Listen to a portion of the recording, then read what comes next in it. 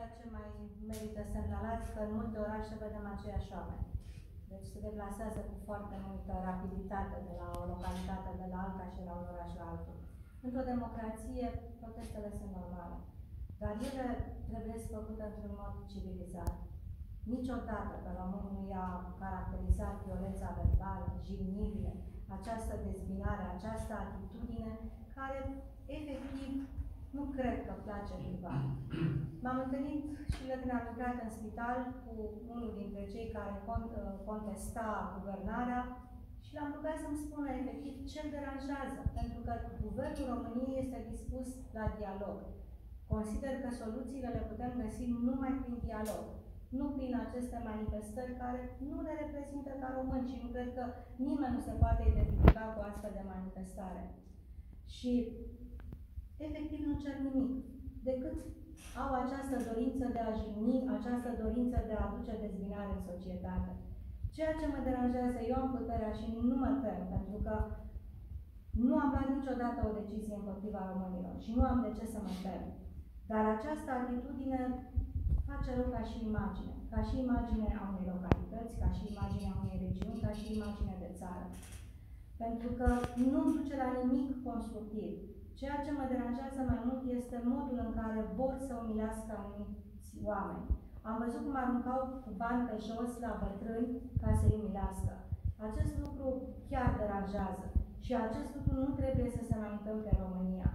Nu trebuie să mai vedem acest discurs bazat pe ură, în care încercăm să uh, punem uh, un scandal între cei în vârstă, cei tineri. Eu cred că este loc pentru toată lumea și că principalul nostru mesaj trebuie să fie de unitate. Nu spun că Guvernul României a, a rezolvat tot, mai sunt multe de făcut și multe de rezolvat.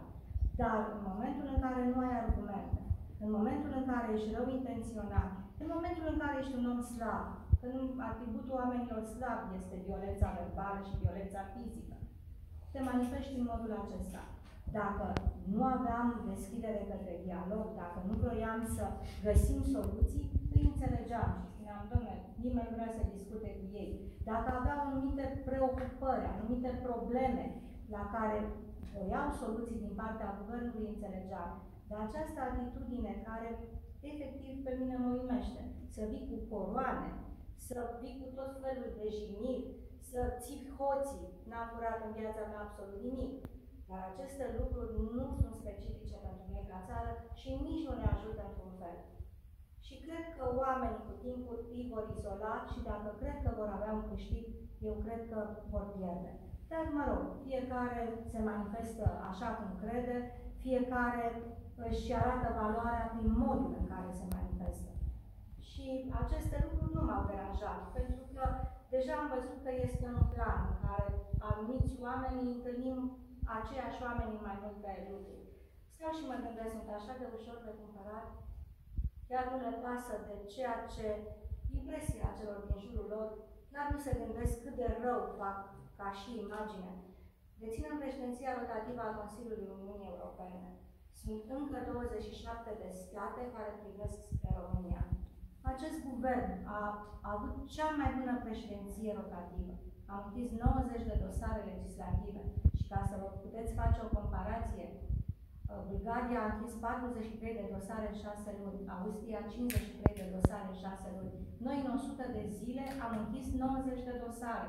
Deci am încercat să aducem un plus de imagine pentru țara noastră, plus de imagine care se răspânge asupra fiecărui român.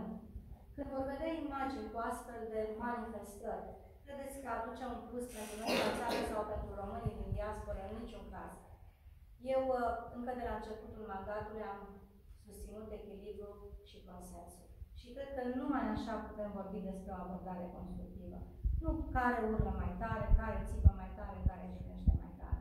Consider încă o dată subliniez că această violență arată de fapt că nu au proiecte pentru România, nu au nimic de spus, sunt oameni slabi pentru că numai oamenii slabi procedează.